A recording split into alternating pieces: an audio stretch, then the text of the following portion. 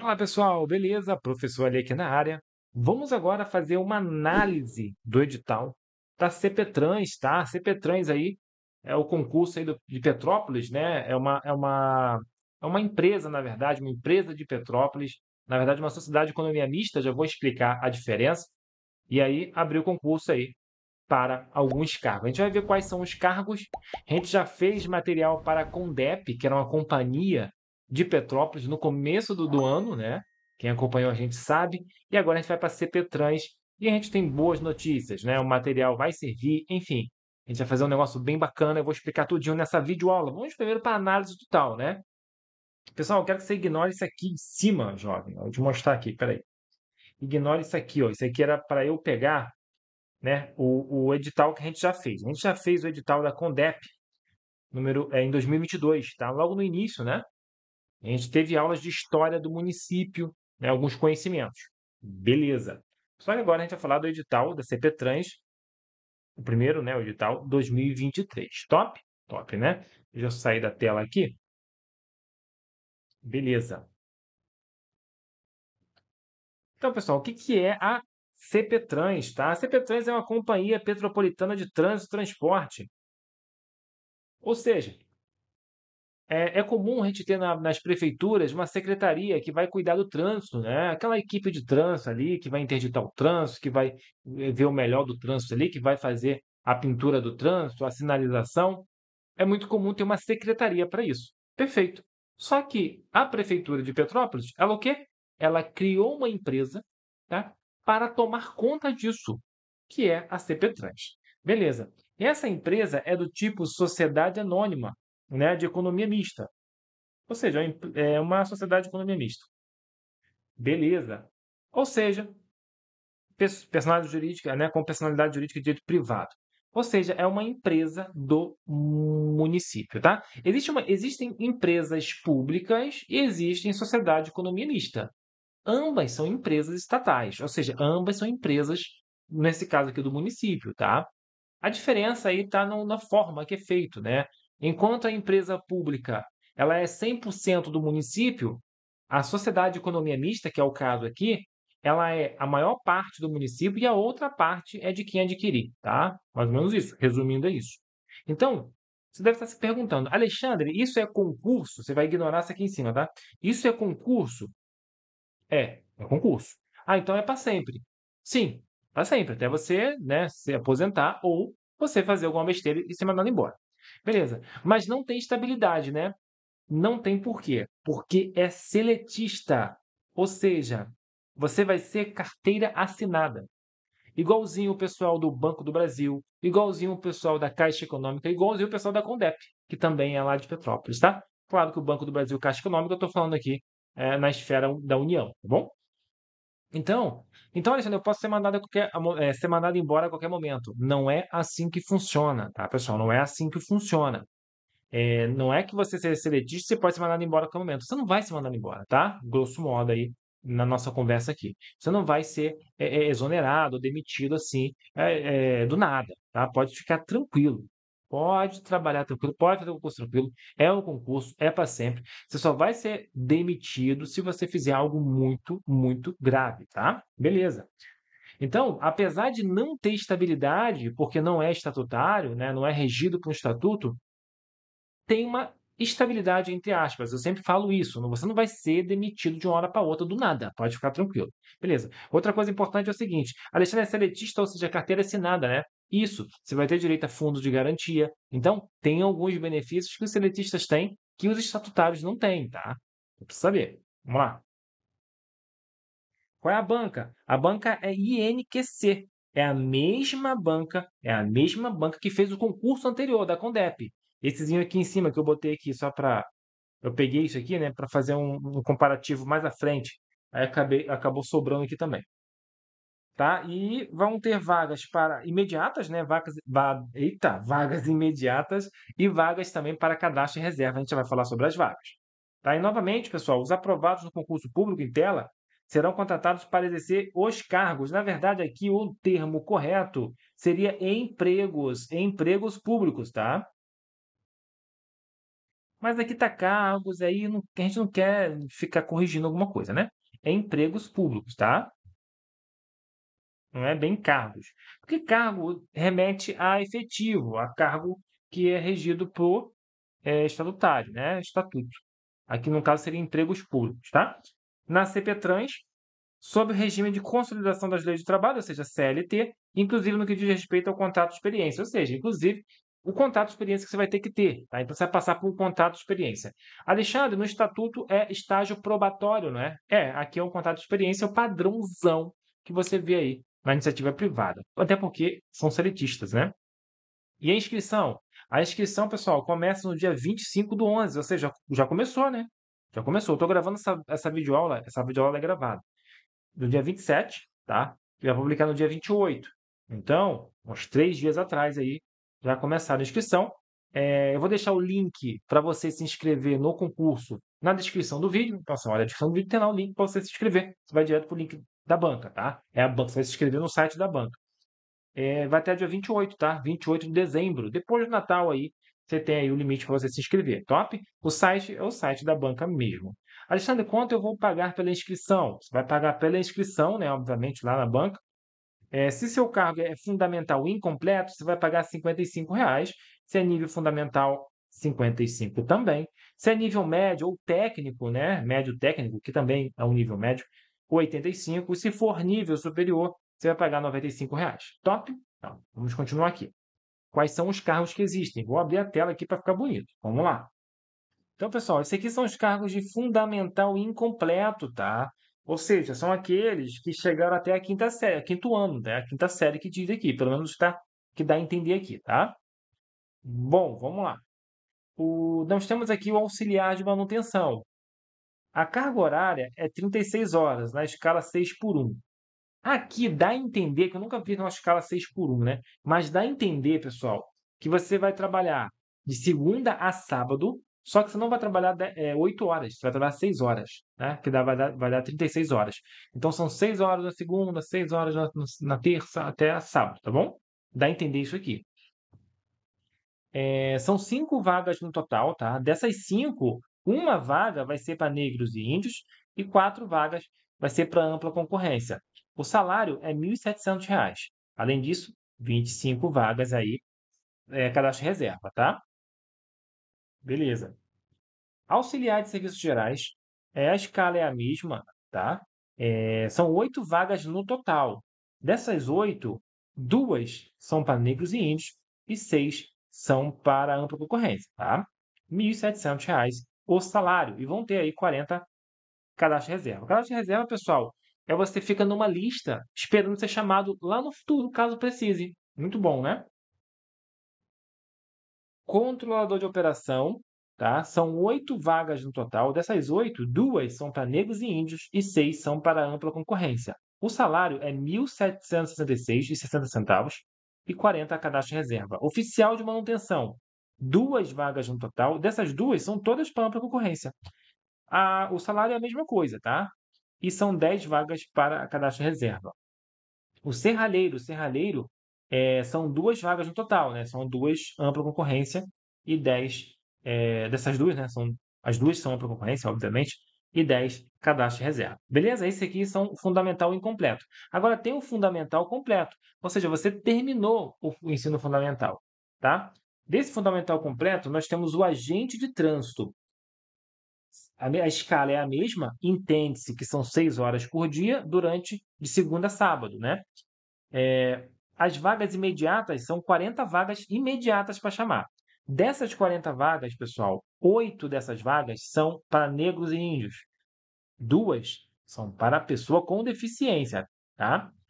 É, e 30 são para ampla concorrência. O salário é R$ 2.248,36. Além disso, vão ter 280, veja você, olha a quantidade que é. 280, aqui ó, opa, 280 vagas para cadastro reserva, tá? Top demais, cara. Temos também para motorista. Ah, D ou C, aí tem que ver especificamente ali no edital, tá, pessoal? Aqui é só para a gente ter uma noção. A carga horária é a mesma coisa, não tem vaga tá? imediata, ou seja, não vai chamar imediatamente. mas tem 10 vagas para cadastro de reserva, tá? Então você vai ficar ali na lista esperando ser chamado. É chamado ali?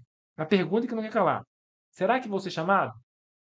Muito provável. Pode ser que daqui a um ano, dois, três, quatro, mas é muito provável que você seja chamado sim, tá, pessoal? É, é assim, é, há, uma, há uma tradição, vamos dizer assim, de ser chamado, tá? Só que demora um pouquinho de fato. Beleza, vamos para o próximo. Agora a gente vai para o nível médio, tá? Nível médio com qualificação e nível médio técnico. Pessoal, aqui é um nível médio, mas que vai exigir de você um, um, curso técnico, por exemplo, tá? Que tem a categoria de médio, ou é, ou é médio ou é superior, né?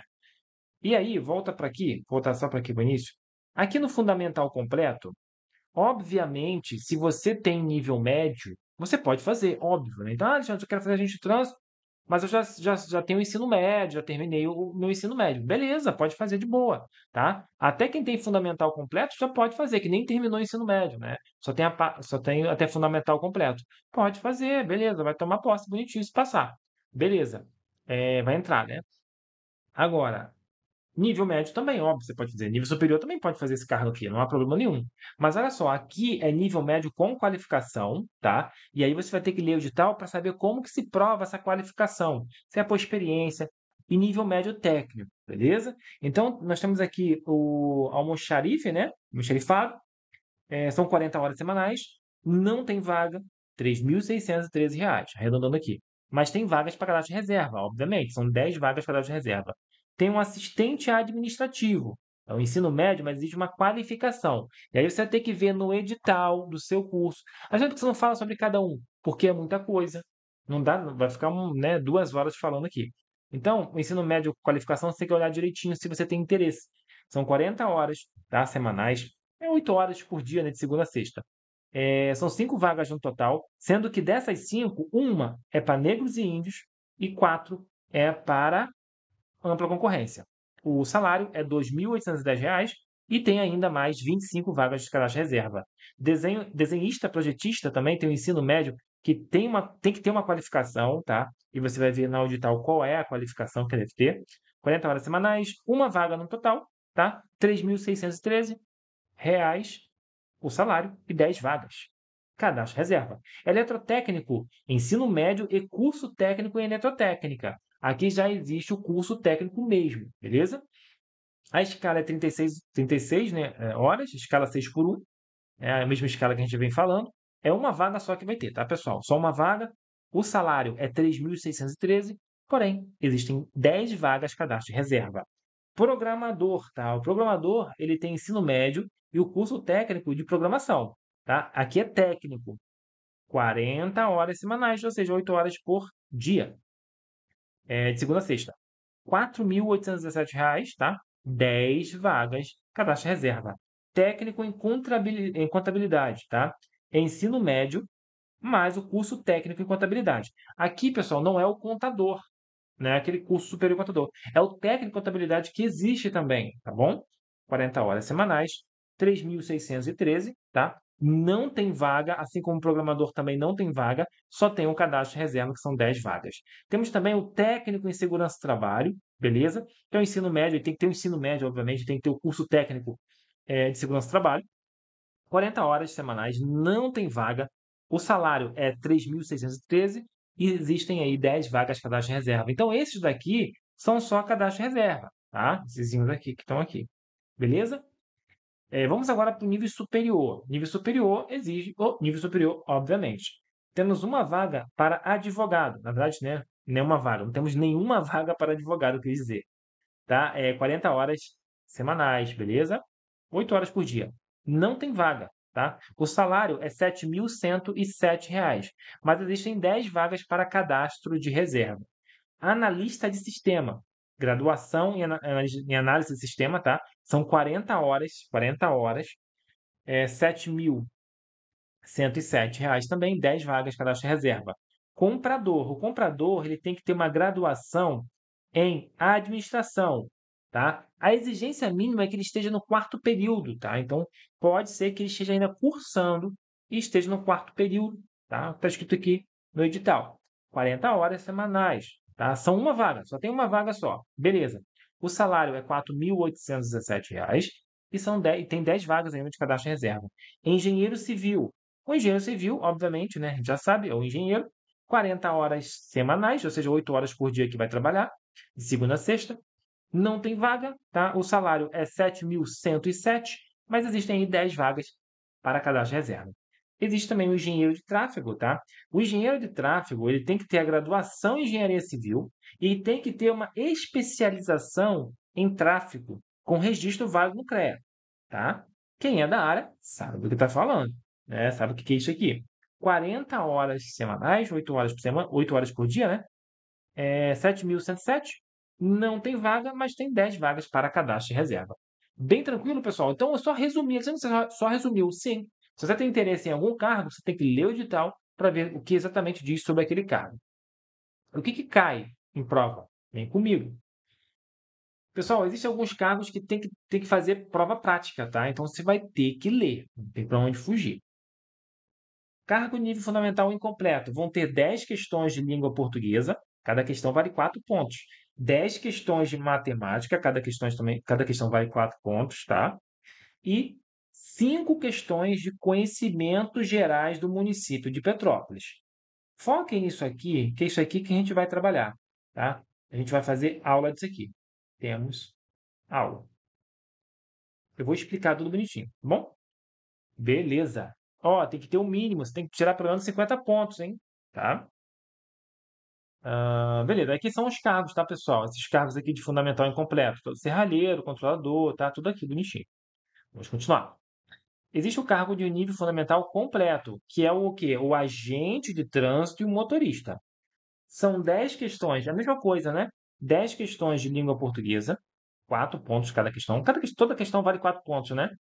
10 questões de matemática e 5 questões de conhecimentos gerais do município de Petrópolis. Aqui você vai marcar, porque a gente tem essa videoaula aqui. Tá? A gente tem, ó, a gente vai ter. A gente separado, né, tio? A gente tem ou vai ter, tá? Já vou falar sobre. Beleza. É, cargo de nível médio, né? Aquele nível médio técnico, na verdade, né? é, não deixa de ser médio também.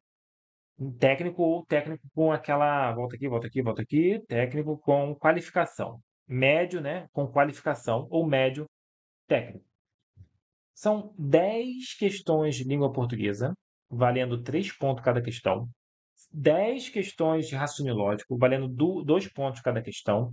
5 questões de informática, tá? valendo 2 pontos cada questão cinco questões de conhecimentos gerais do município de Petrópolis, que você faz a marcação, dando dois pontos, tá? que a gente, a gente, a gente tem, tá?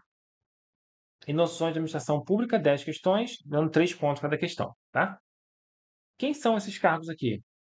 O almoxarife, o assistente administrativo, o desenhista projetista, tá? Deixa eu dar uma olhada aqui. É porque esse aqui é o médio médio mesmo, né? Beleza mas tem que ter uma parte lá de, de como o nome mesmo você falou? Qualificação, né? Qualificação. Aí você tem que ver no edital, pessoal, volta aqui, no edital, o que, que é essa qualificação. Top. É, beleza. Agora vai ter o nível médio técnico, que é o técnico técnico mesmo, né? Técnico eletrotécnico, técnico programador, técnico contabilidade, técnico segurança do trabalho. São 10 questões de língua portuguesa, 10 questões de raciocínio lógico, 5 questões de informática, 5 questões de noções gerais do município de Petrópolis. Aqui a gente vai preparar a videoaula, tá, pessoal? Eu vou explicar. Beleza? E tem um conhecimento específico da área, né? Que são 10 questões também. Os cargos já comentei, tá? O que tem mais peso aqui é língua portuguesa e conhecimento específico. Vamos continuar a gente repetiu aqui. É, nível superior, os carros nível superior são 10 de língua portuguesa, 5 de informática, 5 de conhecimentos gerais do município de Petrópolis. Marca isso aqui que a gente vai ter. A gente tem ou vai ter, eu vou explicar direitinho por que eu estou falando isso. E tem noções de administração pública, né? São 10 questões. Eita. Beleza, e são carro de comprador, advogado, analista de sistema, engenheiro civil e engenheiro de tráfego, tá? Bom, pessoal, o que, que é isso aqui que está falando? Conhecimentos gerais do município de Petrópolis. No concurso da CONDEP, aquele concurso que teve em 2022, pediu a mesma coisa. Conhecimentos gerais do município de Petrópolis. tá? Olha o que está pedindo aqui na, no edital do CPTrans. Conhecimento geral de Petrópolis. História, aqui também tinha pedido história. Formação administrativa, aqui também pediu formação administrativa. Informações socioeconômicas, aqui também pediu informações socioeconômicas. Turismo, aqui pediu turismo. Dados estatísticos, aqui pediu dados estatísticos é, do município, né? A fonte é o site da, da, da prefeitura e cidade.ibge, a mesma fonte. Ou seja, a gente já tem pronto. Então, o material que a gente fez para a Condep vai servir para você. Então, você vai correr lá, botar Condep, professor ali, vai lá estudar. Só que eu vou criar uma playlist própria para CPTrans. E vou pegar as videoaulas que a gente já tem pronto e vou só editar. Só vou tirar aquela parte da Condep lá e vou publicar as videoaulas, tá? Então, vou publicar uma videoaula por dia. Então, a videoaula já está pronta ali, já está pronta, mas eu vou editar a videoaula. Eu vou, vou mudar a introdução. Pessoal, estou aqui, essa aula aqui é da Condep, mas serve para CPTrans, eu já, já editei, está tudo bonitinho. Beleza, vocês entenderam? Então, as aulas já estão prontas, eu só vou editar. Só vou editar a parte do início e a parte do fim. E vou botar a aula já pronta. Top. Só que eu vou trazer algo a mais. Eu vou trazer, pessoal, duas videoaulas extras. Tá? Duas videoaulas. Quais são essas videoaulas? A primeira, uma aula explicando como que a banca cobrou. Por quê? Porque a Condep, pessoal, eu fiz a videoaula, só que eu não sabia o que ia cair. Óbvio, ninguém sabia o que ia cair, né? Óbvio que não sabia, né, gente? E aí eu já tenho acesso a todas as questões de história do município. E aí eu vou trabalhar com vocês, vou falar para vocês, pessoal, isso aqui é que caiu. Então uma aula vai ser só discutir, ó, pessoal, foque mais nisso, foque mais na Rua Tereza, foque mais na, na, na, na venda ali, no, no, na parte econômica. Eu vou explicar bonitinho, vou fazer uma análise do que caiu e vou explicar onde você deve focar. Top ali. A outra aula, pessoal, a outra aula é uma aula teórica dos conteúdos que a banca exigiu. A banca, ela criou questões, não criou? Criou. Então, vou fazer uma aula só focada nos assuntos que a banca, nos assuntos ali, né? E nos assuntos adjacentes que a banca cobrou, tá? Bem bacana. Então, isso aqui vai estar tudo no YouTube, é tudo gratuito. Então, além dos vídeos que já estão prontos, eu vou acrescentar mais duas videoaulas. Uma, conversando com você, para você focar em certo, certo ponto, tá? E a outra, uma aula, uma aula extra, né? focada nos assuntos que caiu da Condep. Lembrando, pessoal, que a Condep, quando caiu, foi a mesma banca. É a mesma banca que produziu o concurso 2022, está produzindo esse concurso agora 2023 da CPTrans. Então, é a mesma banca. Beleza? Então, a gente vai ter duas videoaulas extras. Uma videoaula explicando o que, que vai cair ali, o que, que se deve focar, e a outra videoaula é com os assuntos que a banca já cobrou lá na, na Condep, tá bom? Que agora a gente já sabe, a gente já tem uma base do que, que a banca gosta de cobrar. Top, né? Isso aqui está no YouTube, pessoal. Isso aqui é no YouTube. Mas é óbvio, né, se você quiser ajudar a gente, eu vou criar 100 questões de conhecimentos gerais do município de Petrópolis. Então, eu vou criar 100 questões. Essas questões vão ser comentadas em vídeo. Então, as questões serão focadas no edital. É a primeira vez que eu fiz isso. Na Condep eu não fiz. Serão comentadas em vídeo, tá? Vai ter o PDF comentado da questão. Vai ter o PDF simulado para você treinar o seu conhecimento. E de brinde, eu vou trazer as questões que caíram no concurso da Condep 2022 comentadas. Então, além das 100 questões que vão ter aqui, eu vou pegar o máximo que eu encontrar, o máximo que eu encontrar. Eu já encontrei algumas. Vou pegar o máximo e vou começar. E a gente vai trabalhar essas questões aqui. Aqui não, lá quando você adquirir, tá? Então, você mais de 100, né? E você vai, e a gente vai comentar essas questões, tá? Então, pessoal, vai ser um pouquinho mais de 100. Então, não esqueça, vale muito a pena adquirir, tá? Vale muito a pena adquirir essas questões. Top demais, né? Então, pessoal, não esqueça de adquirir essas questões, vão te ajudar, tá? O link vai estar na descrição do vídeo, nos comentários. A gente já vai começar as nossas videoaulas, tá? Já vou preparar essas, essas 100 questões para a gente já começar bem no esquema, beleza? Então, ó, vejo vocês então no nosso próximo vídeo. Aqui, ó, me siga no Instagram. Quando as questões estiverem prontas, eu vou fazer uma pré-venda lá, a gente dá um descontão. Então, vai lá que vale a pena, tá? Me siga no Instagram que vale a pena. Pessoal, muito obrigado pelo carinho, muito obrigado pela companhia, pela força. Se você já estudou com a gente lá na Condep, tá? É, continue estudando, tá? Continue estudando aí. Se já comprou material, continue estudando com esse material que vale a pena, tá bom? A gente vai trabalhar bem bacaninha essa parte aí de conhecimentos do município, tá bom? Conhecimentos gerais do município de Petrópolis. Te vejo então nos nossos próximos vídeos. Até lá. Tchau, tchau.